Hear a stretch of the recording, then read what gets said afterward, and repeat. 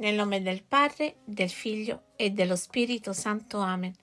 L'amore è tutto, il resto è niente. Ognuno di noi tenta di affermarsi nella vita, di farsi valere per qualche merito. Per questo ognuno si sceglie una via, quella della potenza politica o della ricchezza o della scienza o della tecnica o quella, mettiamo, della stessa sapienza e delle virtù che rende l'uomo sicuro e ricco di sé. Ma la storia dell'uomo ci rivela quanto siano fallaci e illusorie queste vie che troppi uomini ripetutamente a ogni generazione imboccano e percorrono affannosamente per essere grandi, per essere felici. Già da giovani, nell'ardore e nell'impeto dell'avvio, si scontano le prime delusioni. Una passione amorosa, per esempio, che sembrava promettere tanto, si riduce a fuoco di paglia e da anziani politici in fondo alla via si accorgono che la loro potenza è stata una ragnatela di parole e di polvere. I ricchi si trovano più asserviti di quando erano poveri.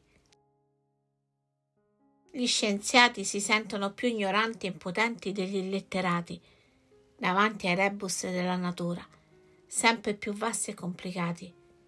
I tecnici si trovano come prigionieri e minacciati dai loro congegni ordigni.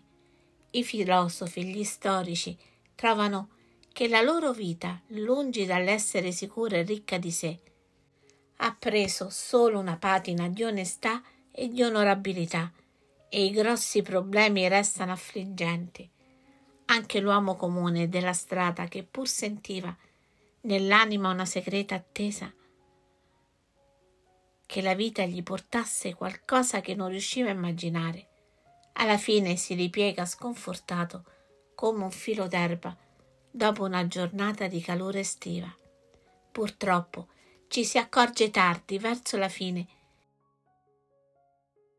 che solo l'uomo che ama ed è amato vale, si sente sicuro e ricco dentro di sé.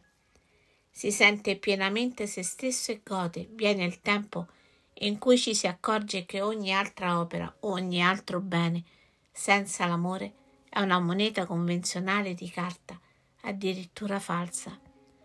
Anche per Dio, solo l'amore è credibile, solo l'amore conta. Meditazione biblica. Aspirate a doni più alti, anzi vi insegno una via che sorpassa ogni altra. Se parlassi le lingue degli uomini e degli angeli, ma l'amore non ho, sono solo un bronzo echeggiante un cembalo sonoro. Avessi pur la profezia e conoscessi tutti i misteri e tutta la scienza, possedessi una fede da trasportare le montagne, ma l'amore non ho. Io sono un niente. Distribuissi a bocconi i miei beni, e il mio corpo dessi a bruciare, ma se l'amore non ho, niente mi giova.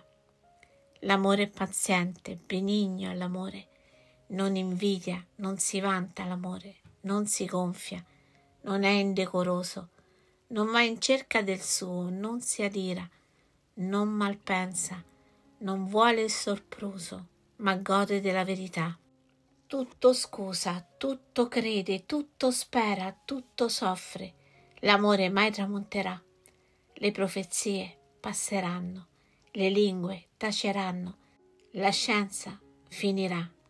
Quando verrà ciò che è perfetto, l'imperfetto svanirà. Ora rimane fede, speranza, amore, tutte e tre, ma di queste è più grande l'amore. In fondo Ogni nostro cruccio infelicità deriva da questo. Non amiamo, non siamo amati o non ci lasciamo amare.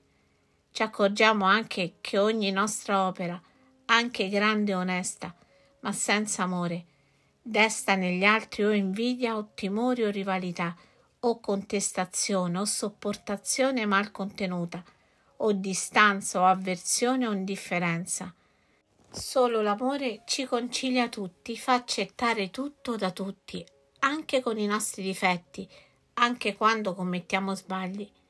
Un solo gesto d'amore al mio vicino giova e fa progredire l'uomo, più di una scoperta scientifica, più di un'impresa spaziale, perché l'amore scopre e suscita nell'altro un senso nuovo di vita, una voglia nuova di vivere, di camminare insieme, di lavorare insieme, e in mezzo a quelli che si amano si rende presente Dio.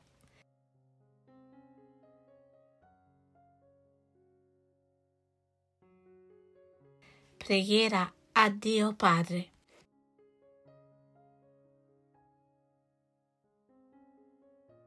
Rivolgiamo fiduciosi la preghiera a Dio, nostro Padre, datore d'ogni bene, perché susciti in noi un grande amore nella riconoscenza e nella gioia. Preghiamo insieme e diciamo ti ringraziamo Signore per tutti i beni che hai effuso nel mondo, che ci nutrono e ci sviluppano, per tutte le meravigliose bellezze della natura che ci incantano e ci allietano, per la vita che ci hai donato, per i giorni che ci concedi, per l'amore, l'amicizia, la compagnia che ci fai godere nella nostra casa e nel mondo, per le piante e gli animali che continui a creare per noi, per il sole, la luna e le stelle, per le sorgenti e le pianure, per le montagne e mari che conservi e rinnovi per noi, per l'intelligenza, i sensi, il cuore che ci hai dato per comprendere, godere, amare, rispettare la tua creazione e te, sommo bene, e per questa mia intenzione personale, per la quale oggi ti prego, lasciare a Dio Padre la nostra intenzione per questa giornata. Dio nostro Padre, che a noi e a ogni generazione di uomini fai trovare questa eredità ricca e meravigliosa del tuo creato, mentre accogliamo ogni bene come segno del tuo amore, ti ringraziamo con tutta l'anima e ti preghiamo di formarci un cuore pronto e generoso verso i fratelli più bisognosi. Te lo chiediamo per il cuore di Cristo tuo Figlio. Mio Dio, io credo, adoro, spero e ti amo. Ti chiedo perdono per quelli che non credono, non adorano, non sperano e non ti amano. Amen. Fioretto del giorno. Immaginatevi di essere moribondo e pensate quale cosa vi darebbe più rimorso se vi trovaste a quel punto e risolvete di rimediarvi subito implorando a tale effetto l'aiuto di Dio. Nel nome del Padre, del Figlio e dello Spirito Santo. Amen.